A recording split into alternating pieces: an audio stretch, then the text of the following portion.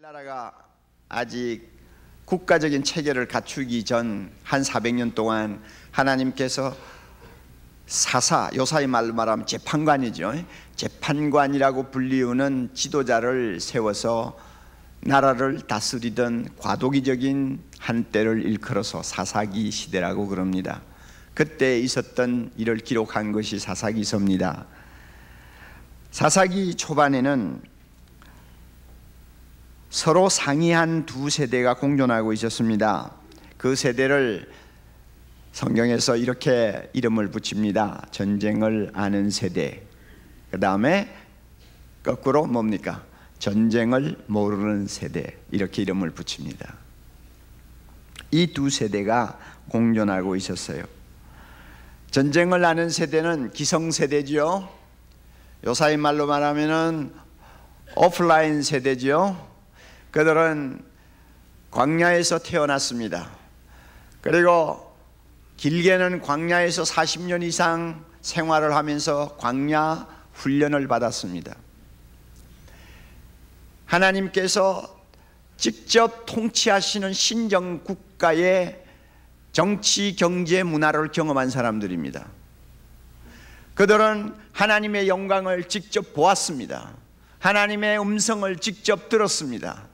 그리고 그들은 많은 기적을 체험했습니다. 이것이 광야 세대였던 사람들이었습니다. 드디어 그들이 요단강을 건너서 아브라함에게 하나님이 약속했던 적각 꿀이 흐르는 땅을 정복하기 위해 들어왔을 때는 그들은 손에 칼을 들고 제일 앞에 서서 전투를 했던 젊은이들이었습니다. 그 당시에 나이 대부분이 20대, 30대였을 것입니다. 이들이 전쟁을 아는 세대였습니다. 그리고 가나안을 정복하면서 수년 동안 전쟁의 긴장에서 헤어나지 못하고 살았습니다. 그리고 어느 어느 정도 그 땅을 평정하자마자 그들은 나라의 기초를 세우기 시작했습니다. 아침부터 저녁까지 죽으라고 일만 한 세대입니다. 그들이 일하고 그들이 싸우면서 흘린 피와 땀의 대가로 삶이 어느 정도 안정되기 시작했고 나라의 기틀이 어느 정도 잘 잡혔습니다. 이제 그들에게 꿈이 있었다면 강한 나라, 잘 사는 나라 만들어서 후손에게 전해주는 자랑스러운 선조가 되고 싶다. 이것이 그들의 꿈이었습니다. 그러므로 이 전쟁을 아는 세대는 한마디로 일만 하다가 인생 다 바친 세대요. 전쟁하다가 인생 다 보낸 세대입니다. 이런 독특한 그들의 경험과 배경 때문에 그들의 정치관은 자연히 보수주의였습니다. 전통을 중시하고 그 대신 변화나 개혁을 잘 받아들이지 못하는 보수주의 경향을 띠고 있었어요. 그리고 그들의 종교가는 유일신 사상이었습니다. 그리고 그들의 문화는 폐쇄주의였습니다. 자기들의 문화 외에 선민의 문화 외에는 별로 받아들이지를 않으려고 문을 꽉꽉 닫아놓고 있는 그런 사람들이었습니다. 이게 전쟁을 하는 세대들의 특징이었습니다. 우리나라 기성세대하고 비슷한 데가 있다는 걸 여러분이 아마 인정을 할 거예요. 반면에 가나안에 정착하면서 새로운 세대들이 태어나기 시작했습니다. 그들을 일컬어서 전쟁을 모르는 세대라고 말합니다. 4, 50년이 지나자 그들이 그 나라의 오피니언 그룹이 되었고 주도 세력이 되었습니다. 그들은 광야의 살벌한 생활을 경험하지 못했습니다. 하늘에서 떨어지는 만나 먹어본 일 없어요. 바위에서 솟아나는 샘물을 구경한 일도 없어요. 그들은 하나님의 음성을 직접 듣지도 못했고 하나님의 영광을 보지도 못했어요. 그들은 기적다운 기적을 체험한 일이 없어요. 그런 모든 초자연적인 현상들은 전쟁을 아는 세대인 그들의 부모로부터 들어서 알고 있을 뿐 전혀 뭔지 몰라요. 그들은 태어나면서부터 안정된 생활을 했습니다. 농사 짓고 양치면서 평화로운 목가적인 분위기에 젖어서 참 아름다운 꿈을 자라며, 어, 먹으면서 자란 세대였습니다. 그리고 그들의 부모가 땀 흘리고 피 흘려서 뿌린 그 씨앗을 거두면서 행복하게 자라고 젊음을 신나게 구가하는 것은 너무나 당연한 것이라고 그들은 생각했습니다.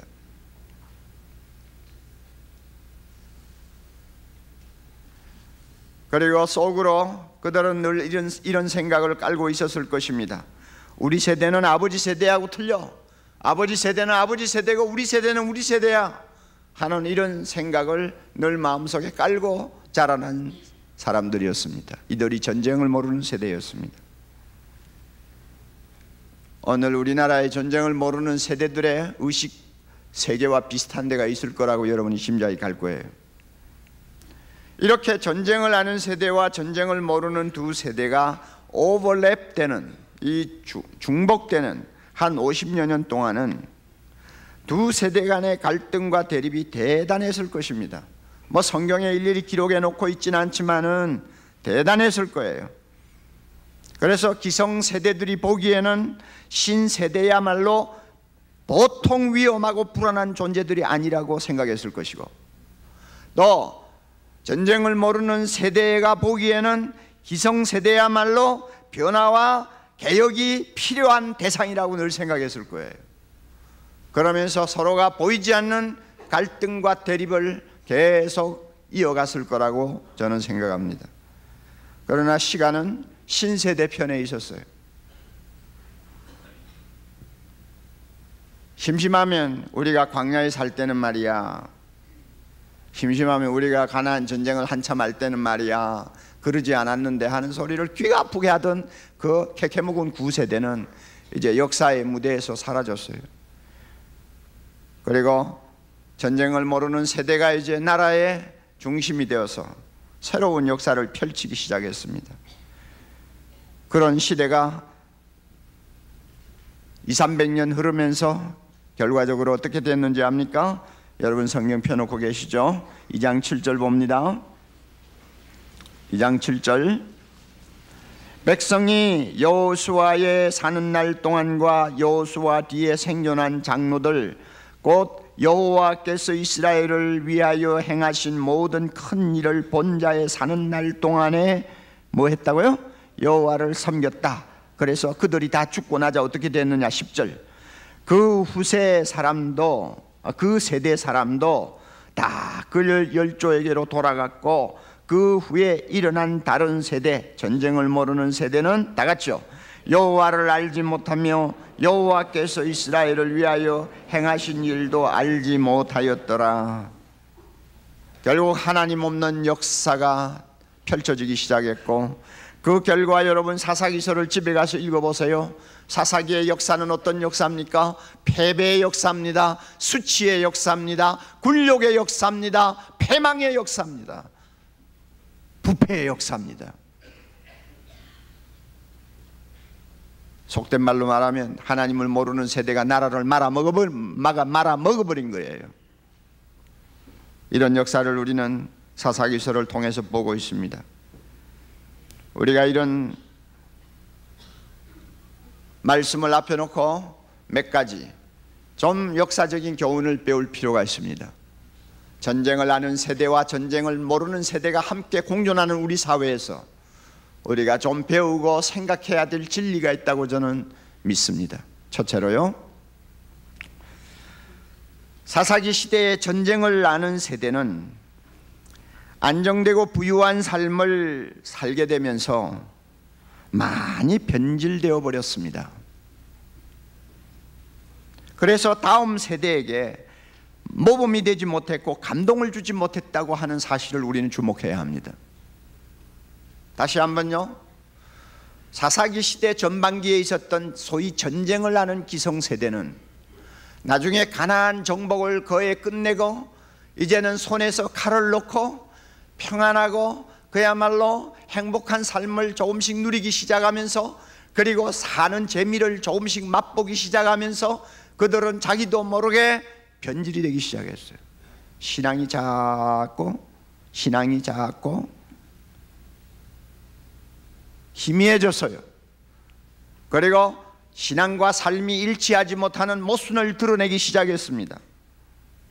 사는 즐거움을 조금씩 맛보면서 그들 자신도 주변에 있는 잡족들이나 별로 다름이 없는 그런 수준으로 점점 그 신앙과 도덕성과 그 선민으로서의 의식이 낮아지고 있었습니다.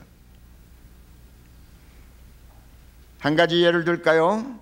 여수아가 110세까지 살았습니다. 여수아는 애굽에서 태어난 사람이거든요. 그래서 벌써 광야 생활 40년 했잖아요. 그리고 애굽에서 나올 때 거의 40세 가까운 사람이었습니다. 그러니까 여수아가 가나안 땅에 들어와서 이스라엘 백성들을 진두에서 지휘할 때는 거의 나이가 85세 가까운 노인이었습니다. 이 노인이 가나안 정복을 끝내고 세상을 떠날 때가 110세니까 가나안에 들어온 지 약 2, 30년 정도 되었습니다.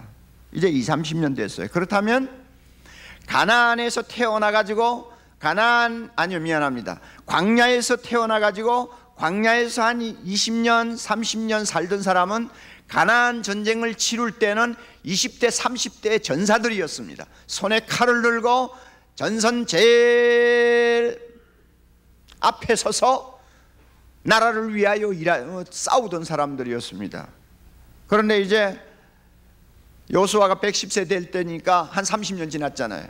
그러니 손에 칼을 들고 싸우던 20대, 30대가 이제는 50대, 60대로 다 접어들었습니다. 기성세대가 된 거죠. 전쟁을 하는 세대가 그 나라의 이제 중심이 된 거죠. 자, 그들을 앞에 놓고 요수아가 죽기 전에 뭐라고 말을 했는지 아세요? 요수아 23장 16절에 이런 말씀을 했어요. 만일 너희가 너희 하나님 여호와께서 너희에게 명하신 언약을 범하고 가서 다른 신들을 섬겨 그에게 절하면 여호와의 진노가 너희에게 미치리니 너희에게 주신 아름다운 땅에서 너희가 속히 망하리라. 여러분 지금 지금 숨을 거두어야 되는 절박한 상황에 놓여 있는 그 나라의 지도자가 남겨놓고 가는 후손들에게 희망적인 말을 해야지 긍정적인 말을 해야지 왜 이런 불길한 말을 합니까? 너희들 잘못하면 망한다? 왜 이런 불길한 말을 하는 겁니까? 이유가 있어요 여수아가 볼 때 전쟁을 하는 기성세대가 부패했다 그 말입니다 영적으로 병이 들었다 그 말입니다 벌써부터 삶이 해이해져 가지고 하나님이 명령하는 말씀을 순종하지 못해서 냄새를 피우기 시작했다 그 말입니다. 그러니까 이대로 가다가는 나라가 망한다는 거예요. 마음에 불안이 쌓여 있어요. 죽어도 눈을 감을 수 없는 불안이 여수와의 마음에 있는 거예요. 그리고 이어서 그가 이런 말까지 했어요. 여수와 24장 23절 이제 너희 중에 있는 이방 신들을 제하여 버리고 너희 마음을 이스라엘의 하나님 여호와께로 향하라. 벌써요 기성세대가 집안에 우상을 갖다 놓고 살아요. 여호수아가 눈이 퍼렇게 살아 있는데도 슬금슬금 그 주변에 있는 잡족들이 섬기는 신들을 받아가지고 자기 집에 갖다 놓고 있다고 말이에요. 옛날에 광야에서는 그러지 않았어요. 전쟁을 한참 치루는 긴장된 상황에서는 절대 그런 거 상상도 할 수 없었던 사람들이에요. 그러나 이제 살만하니까 배가 부르니까 이제는 돈이 많으니까 점점 마음이 해이해져 가지고 하나님으로부터 마음이, 마음이 떠났어요. 그래 가지고 다른 신을 받아들여서 우상을 집안에 갖다 놓고 남몰래 섬기고 가나안 잡족들이 하는 대로 부패한 행동을 모방했던 것입니다. 이렇게 변질돼 버렸어요. 여러분 순수성이 변질되고 세상과 타협하는 이중 태도를 보이는 선배를 모범으로 생각할 수 있는 후배가 아무도 없어요. 그런 부모를 존경스러운 눈으로 따를 수 있는 자손도 없어요. 모범이 없으면 감동이 따라오지 못하는 것입니다. 사사기에 있던 전쟁을 모르는 세대가 이런 어려움을 당했습니다. 앞서가는 세대로부터 감동을 받지를 못했어요. 계속 회의가 일어나고 갈등이 일어나고 비판 의식이 생기고 그 다음에 거부하는 그런 의식들이 계속 계속 발전했어요. 여러분, 우리가 살고 있는 현실은 어떻습니까? 오늘날 전쟁을 하는 기성세대는 참혹한 전쟁을 치룬 세대입니다. 극심한 가난을 딛고 일어나서 오늘 세계에 그래도 15개국 안에 들어가는 경제대국으로 발돋움을 할 수 있도록 한 참 썩는 미랄과 같은 세대였습니다. 잘 살아보세를 외치면서 일만 했지 언제 여가가 있었습니까? 언제 취미생활을 합니까? 여러분 언제 무엇 세계를 호흡할 수 있는 기회가 있었습니까? 일만 하며 지금까지 살아온 세대입니다. 그러나 이 세대도 20, 30년 전부터 이제 살만하고 여유가 생기고 사는 재미가 무엇인가를 조금씩 맛보기 시작하면서 그들도 변질되었다는 것을 우리는 시인합니다. 신앙이 삶을 지배하는 유일한 원칙이 되지 못했어요. 전쟁할 때는 신앙이 유일한 원칙이었어요. 가난할 때는 오직 하나님만 믿고 하나님의 영광만을 위하겠다고 하는 일념을 가지고 사는 어떤 원칙이 있었어요. 그러나 자가용 굴리고 큰 집 짓고 그 다음에 여유 있게 살고 여가를 즐기고 재산을 축제하고 이러면서 오직 하나님을 섬기는 신앙만이 나의 삶을 유지하는 원칙이라는 생각이 흔들리기 시작했어요. 그래서 신앙과 생활이 따로 노는 모순을 보이기 시작했습니다. 전쟁을 모르는 이세들이 볼 때는 이중인격자였습니다.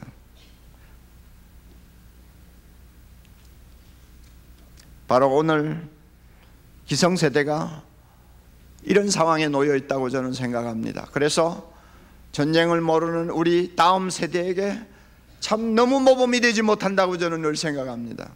감동을 주지 못한다고 생각합니다. 이것을 부끄럽게 부끄럽게 생각합니다.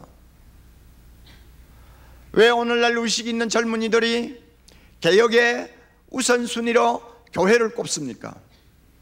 왜 대형 교회는 개혁을 개혁을 해야 될 영순위로 보는 것입니까? 그들이 볼 때 교회는 말씀대로 살지 못한 부패한 집단이라고 생각하는 거예요. 물론 그들의 시각이 다 옳은 것은 아닙니다만은 뭔가 구린내가 나는 나는 데가 있으니까 이런 상황이 벌어지는 거 아닙니까?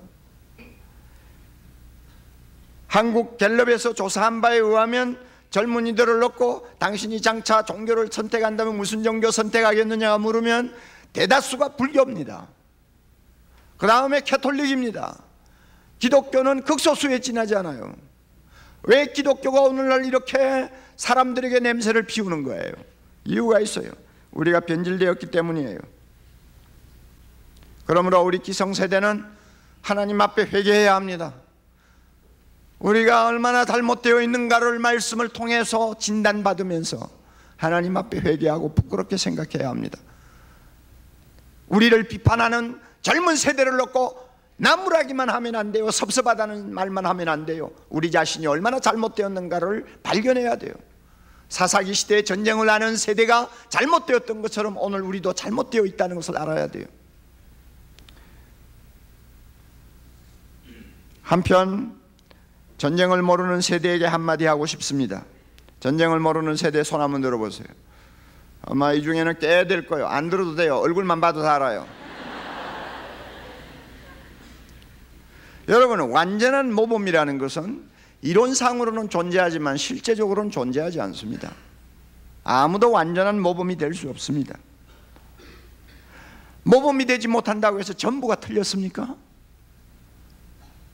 아마 그런 극단적인 이론을 펼 수 있는 사람은 아무도 없으리라고 봐요. 모범이 되지 못하는 부분 있지만은 그 사람이 다 틀린 건 아니라고 말이에요.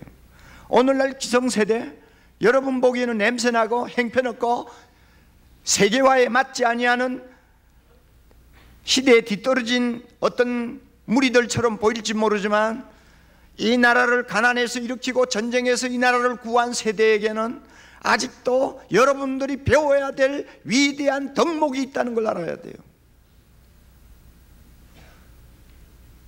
여러분에게 감동을 줄 수 있는 덕목이 아직도 있습니다. 꿋꿋함이 있습니다. 용기가 있습니다. 양심이 있습니다. 그래도 신앙이 있습니다. 나라를 사랑하고 자녀들을 사랑하는 뜨거운 열정이 있습니다. 이런 부분들을 여러분이 주목해야 됩니다. 그래서 그, 열, 그 그들의 좋은 점을 여러분이 배우려고 해야 합니다. 하나라도 좋은 점이 있으면 앞서가는 세대로부터 배우겠다고 하는 겸손을 가질 때 여러분이 잘못한 것을 놓고 비판할 자격이 있는 것이지 좋은 것이 있어도 배우겠다고 하는 생각도 없는 사람은 비판할 자격도 없는 거예요. 이 점을 우리가 명심할 필요가 있어요. 실패학이라는 것이 무엇인지 아시죠? 실패학. 실패도 연구의 대상이 될 만한 가치가 있다는 것입니다. 이게 실패학이요. 기성세대는 어떻게 보면 실패학의 연구 대상입니다. 좋은 것을 남겨놓지 못했고 무거운 짐을 여러분에게 떠넘겼지만 절망하고 비판만 하지 말고 그들의 실패를 연구의 대상으로 놓고 여러분이 연구하면 실패는 성공의 어머니라는 말과 같이 여러분들은 오히려 그런 과오를 반복하지 않으면서 이 나라를 하나님의 나라를 더 아름답게 세울 수 있으리라고 저는 믿습니다. 연구하세요. 어느 세대나 다음 세대에게 짐을 남겨놓지 않는 법은 없습니다.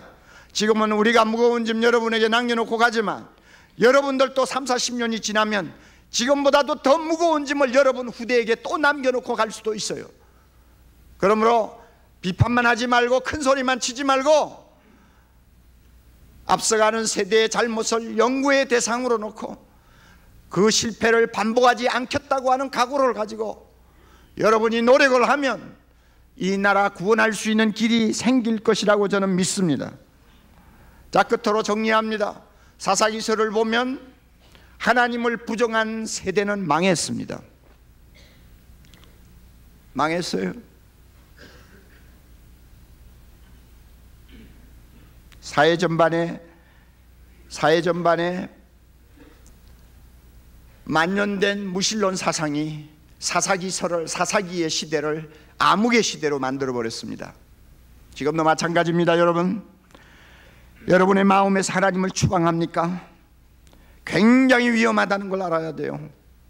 오늘 이 시대는 바칠라프 하벨 체코 대통령이 표현한 것처럼 인류 역사상 처음으로 등장한 무신론 문명입니다. 모든 사람의 의식에서 하나님을 추방하고 있어요. 사회 각 분야에서 하나님의 존재를 인정하지 않으려고 합니다. 그래서 어떻게 됩니까? 여러분, 어디에서 인간성이 파괴됩니까? 하나님이 계시지 않는 곳에서 인간성이 파괴됩니다.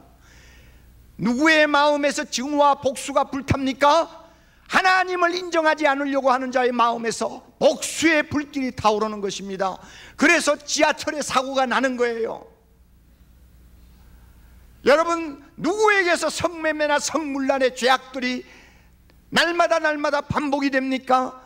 하나님이 계시지 않는 자의 마음에서 그와 같은 죄가 반복되는 것입니다. 사치와 한탕주의가 어디에서 생기는 것입니까? 하나님의 존재를 인정하지 아니하고 내 마음대로 살고 싶다고 유혹을 받을 때 그와 같은 무서운 일들이 일어나는 것입니다. 하나님을 부정합니까? 망합니다. 개인도 망합니다. 가정도 망합니다. 하나님 없는 곳에는 무엇이든지 가능합니다. 세상의 모든 악이 다 가능할 수 있는 자리가 바로 하나님이 없는 자리입니다. 그러므로 전쟁을 하는 세대가 사는 길, 전쟁을 모르는 세대가 사는 길은 하나님을 우리가 받아들이는 것입니다. 그리고 예수 안에서 우리가 하나 되는 것입니다. 전쟁을 아는 세대는 전쟁을 모르는 세대를 이해하고 불쌍히 여겨야 합니다. 그리고 자기의 잘못을 하나님 앞에 회개할 수 있어야 됩니다. 다음 세대 앞에 눈물을 흘리고 자기의 실패를 인정해야 합니다. 동시에 전쟁을 모르는 세대는 예수 안에서 기성세대를 이해하고 포용하고 그들의 좋은 점을 배울 뿐만 아니라 그들의 실패를 통해서 더 나은 역사를 창조하기 위한 노력을 해야 합니다. 그래서 예수 안에서 두 세대가 함께 만나 새로운 부흥을 일으키는 내일의 역사 우리가 창조해야 합니다. 이럴 때 교회가 삽니다. 이 나라가 삽니다. 여러분의 세대가 삽니다. 하나님이 이런 은혜 우리 모두에게 주실 줄 믿습니다. 이를 위해 우리 함께 기도하도록 하겠습니다. 날마다 기도합시다.